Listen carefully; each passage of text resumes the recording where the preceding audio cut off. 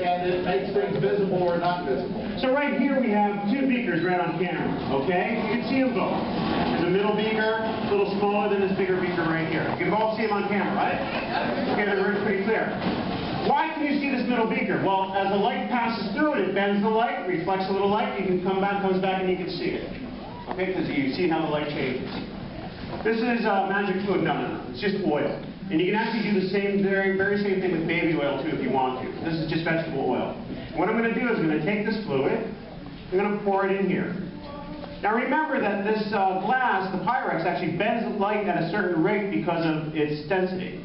So what I'm doing now is I'm adding this Wesson oil, which just ha happens to have exactly the same density as the Pyrex. So if I have it in the middle, you can still see that middle beaker, right? Okay, good. But now let's surround that middle beaker. Let's actually take this oil and pour it all the way around it. Notice now that now that the light no longer bends or reflects as it passes through the oil and then the beaker, there's no longer any way for you to see it. Is it still there? Yeah. No, right? No, it's really still there, and you just can't see it anymore because the density is exactly the same as our Wesson oil. Therefore, the light never bends when it's passing through all that stuff. Okay? So if you really want to trick your parents, you put a couple glasses in the thing, pour oil in there, and they're like, oh, what's this? Just a glass, and then you go in. Oh, no. Don't do that.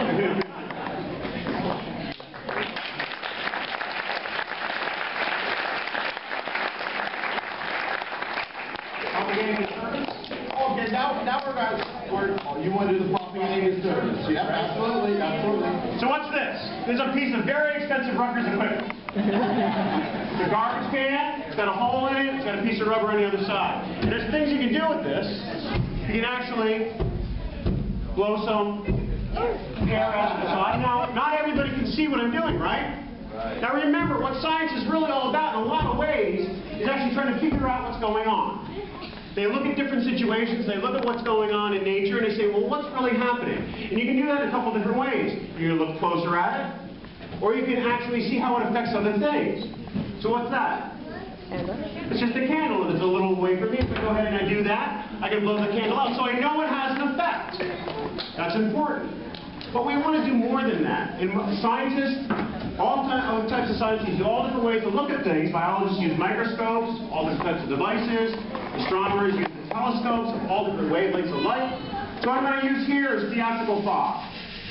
So let's actually take a look at what we have going on there with that air. Because there's really no way to see it without something called a streamer, which is what this theatrical fog acts like.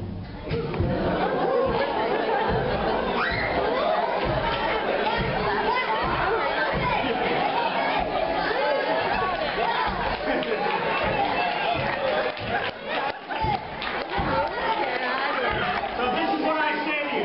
If you want to actually have a lot of fun like this, become a scientist because this is what you can do all day long.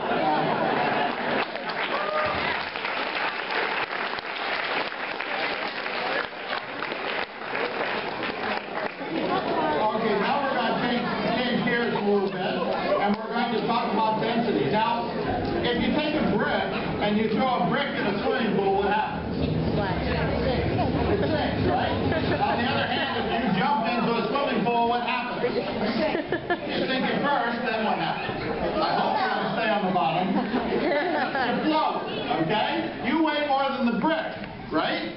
But the brick sinks. That's because the brick has more weight in a smaller volume.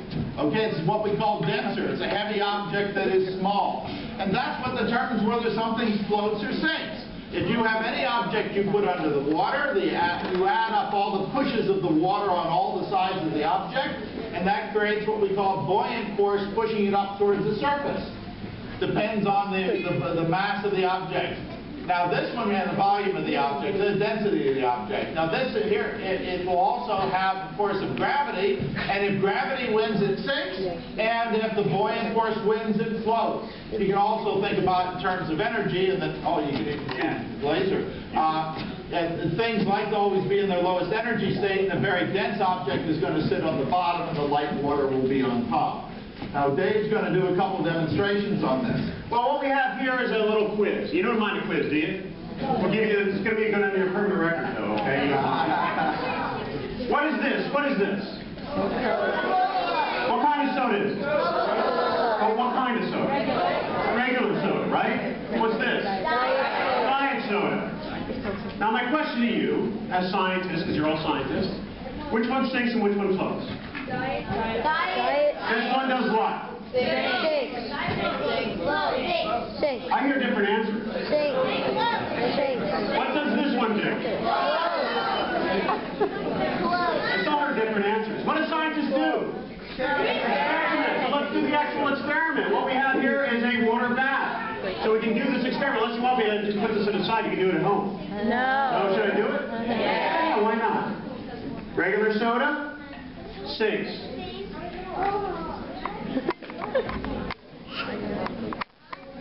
Diet soda? Close. Do they give you less soda? Do they give you more bubbles? No. What's the difference then in these two sodas? Okay, this is sweetened with a little rat poison. I mean, NutraSweet. Right? They only need about a gram of the poison, I mean NutraSweet, to actually make it just as sweet as the, what's in here. What's in this soda down here? No. See, you already failed to win. What's in it? Corn syrup. The same stuff they're now putting in your car, which is going to make it more expensive, which means they're going to go back to sugar anytime now. You watch. But what they have is a whole lot of corn syrup in this to make it just as sweet as a little gram of NutraSweet that's in this.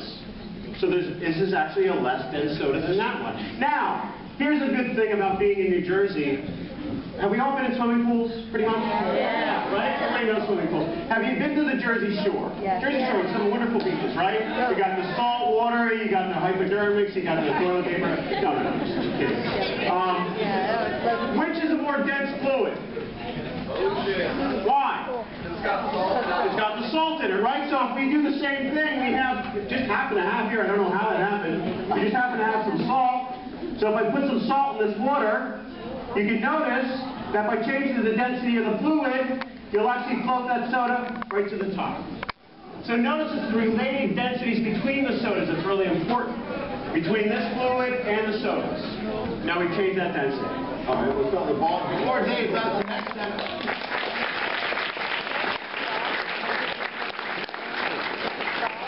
Before Dave does the next one, let me just mention, you can see this in nature also, the density of objects. Oh, yeah, yeah. If you go to the canal out here and you see a mallard duck, he's, you see floats very high in the water. It's because he has an oil gland underneath his neck someplace, and he gets his bill on it, and then he rubs his bill all over the place, and he gets oil all over his feathers. That excludes the water, so all the water is displaced from his entire body. He is a very low density, and he floats nice and high. That's why when he sups, he has the bottom up. He sits on the top of the water.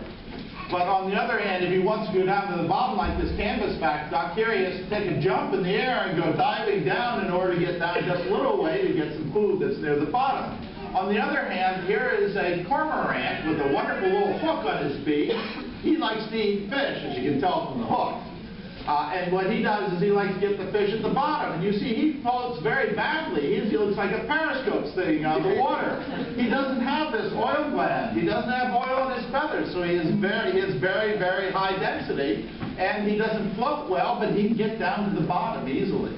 These other guys have to work to get to the bottom. So he gets down, gets his fish, eats his fish, but he has to pay the piper because when he comes out, he has to stand there with his wings out and dry them off before he can do it again. So keep an eye out for these. You can see these things in nature all the time. Dave's going to do some bowling balls.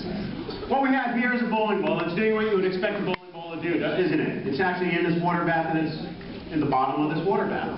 Because bowling balls are fairly dense, aren't they? Right? Has anybody gone bowling? Nice and heavy objects, aren't they? Yeah, yeah, everybody's gone bowling ball. But let's take a look at this one. By the way, that's a 14-pound bowling ball. This is a 10-pound bowling ball. Bowling balls actually do float in water. I know, it's pretty amazing, isn't it? But water is actually a very dense fluid. It's a very dense substance.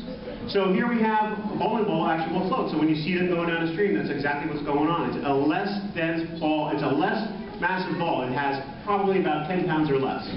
Okay? So if you see that happen, that's what's going on. I don't know how often that happens down the street. I was actually pretty amazed at the seaboard float, though. I don't know about you, but I'm always amazed.